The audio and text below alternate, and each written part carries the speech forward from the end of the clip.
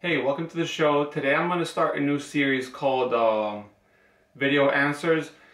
And even though I do the live stream on Wednesdays and people ask me things during the live stream, a lot of people probably don't watch that one hour stream. So I do get a few questions through email that I think are easier to answer through video. And I've been making in the past uh, videos just for that one person, putting them on unlisted and sharing it to them.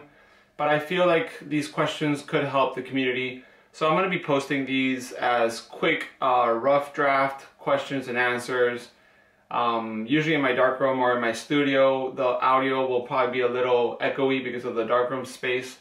But yeah, today I want to answer a question from a subscriber and a big time supporter, Stuart, um, who wants to start developing his black and white at home. he doesn't have a darkroom like I do, so he's using a changing bag, which is fine to load your film onto your tank. He's using Paterson tanks, which are great tanks. And um, he wants a recommendation on what chemicals to start with. I started with uh, Kodak D76. It's probably the most known chemical for developing film.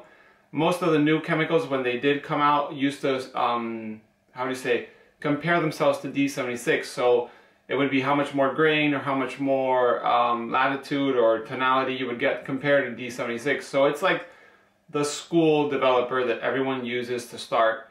I started off with D76 powder, which is what, how they sell it. You mix it, you use it, it's pretty easy to go. It's pretty cheap, and then you can move on to something else. So I recommend to start, D76 is one of the easiest ones to go with. It's available almost everywhere, Amazon, uh, photography stores, local stores that if you have anything in your town. And then from there you decide.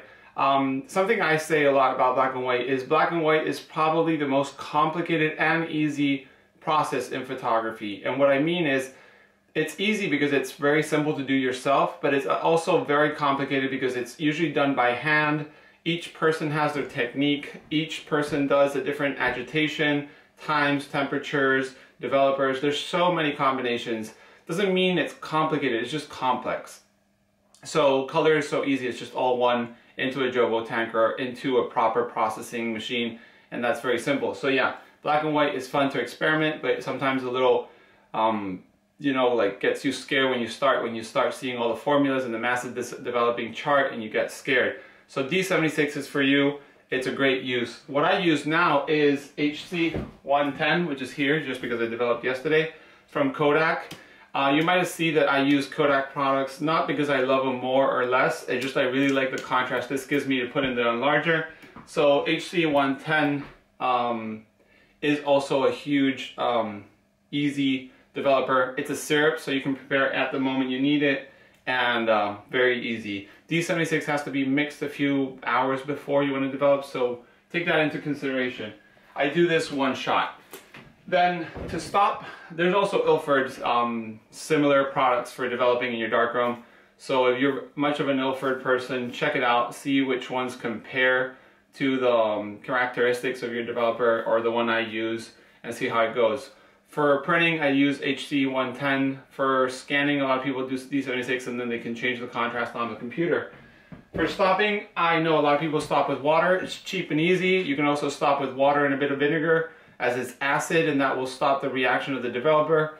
Um, but I use Ilford Stop. It's pretty affordable. I use it also, I do reuse this one unless I'm not going to develop in a long time. But uh, Ilford Stop is 119 pretty easy to use and I buy these 500 milliliters bottles which I always have a few um, in hand. Then to fix um, my paper and my, usually my paper and my film I fix with Ilford Rapid Fixer. Once again, Ilford, um, just because I like the spirit of Ilford and we don't know how Kodak will be around much longer or not. Not that it won't go away, but Ilford is what I use. I use Ilford rapid fixer, which probably won't focus. But there you go, you can see it there. And um, I mix it.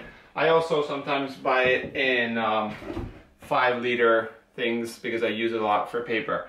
This is a paper developer that's starting to get a little brown, so probably won't be as good for now. Uh, just in case you're wondering, I also have a new one here. But yeah, if you have any questions, also, for black and white, those are the three developers. And then the last one that I use is Photo-Flo from Kodak. Uh, I know Ilford has its own one too. So let me see. There you go, Photo-Flo um, 200. Here it says one part of Photo-Flo, 200 parts of water. I use just grab and put a little drop on my tank, pour water, and that's it. They recommend not to do this in your tank and your reels because they could uh, end up um, creating a spongy, bubbly mixture that can screw up your next developing. I do it in my tank, never had an issue, but they do say that.